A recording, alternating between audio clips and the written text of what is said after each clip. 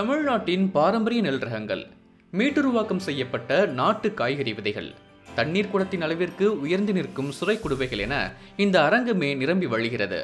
இனி விதைகளே பேராயுதம் என்ற நம்மாழ்வாரின் கூற்றுப்படி அவரின் எண்பத்தைந்தாவது பிறந்தநாளை முன்னிட்டு கரூர் மாவட்டத்தில் உள்ள வானகம் உயிர் சூழலியல் மையத்தில் மரபு விதை திருவிழா நடைபெற்றது. இந்த நிகழ்வில் கலந்து கொண்ட தமிழ்நாட்டைச் சேர்ந்த பல்வேறு விவசாயிகள் மரபு நெல் மற்றும் விதைகளை காட்சிப்படுத்தினர். இந்த மரபு விதையில் ஒவ்வொரு ஒவ்வொரு மரபு விதையிலையும் ஒவ்வொரு மருத்துவ குணம் இருக்குது அந்த மருத்துவ குணம் வந்து ஒவ்வொரு நம்ம மருந்தே சாப்பிடாம உணவே மருந்துங்கிறதுல இந்த தானியத்தையும் காய்கறி விதை காய்கறிகளையும் இந்த மரபு சார்ந்த நெல்லையும் நம்ம வந்து பண்ணிவிட்டு நீங்கள் வந்து இதிலே நம்ம வாழ்ந்துக்கலாம்.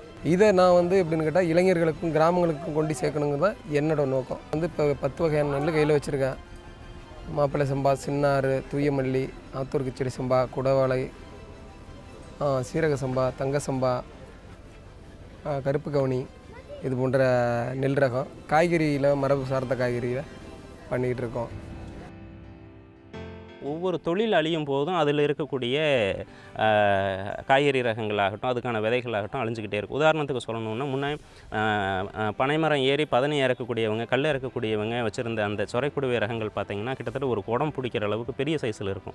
இப்போ அவங்க எல்லாமே க- அந்த சொரை ரகங்களையும் வச்சுருக்கல அவங்களோட தொழிலும் அப்படி அழிஞ்சுக்கிட்டே இருக்குதுங்கிறனால அவங்க வச்சுருந்த அந்த சுரை ரகங்கள் அந்த விதை வந்து பார்த்திங்கன்னா காணாமல் போயிட்டு இருக்குது அப்போது அந்த ரகங்களை நம்ம மீட்டெடுத்து அதை ப பயிர் பண்ணி அதை பரவலாக்கம் பண்ணுறோம் ஸோ எதெல்லாம் முன்னே புழக்கத்தில் இருந்துச்சு அதுக்கான இப்போ தேவைகள் எவ்வளவு இருக்குது அப்படிங்கிறத பொறுத்து அந்த ரகங்களை தேர்வு பண்ணி எடுத்து அதை பயிர் பெருக்கம் பண்ணி மற்றவங்களுக்கு பரவலாக்கம் பண்ணக்கூடிய அந்த வேலைகளை பண்ணுறோம்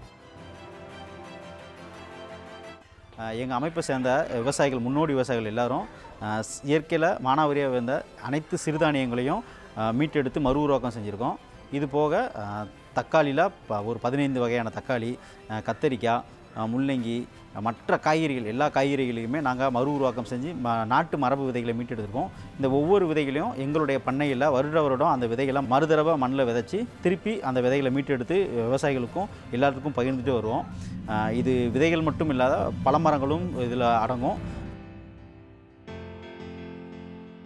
பொதுவாக வந்து காய்கறிகளில் நம்ம சந்தைகளில் கிடைக்கக்கூடியதை மட்டும் பார்த்து அதை பயன்படுத்திக்கிட்டு இருந்திருக்கோம். ஆனால் ஏதோ ஒரு மரபு ரகத்தை நம்ம சுவைச்சு பார்த்ததுக்கப்புறம் இது நமக்கு கிடைக்குமான்னு தேடும்போது ஒன்று ஒன்றா கைக்கு கிடச்சிது.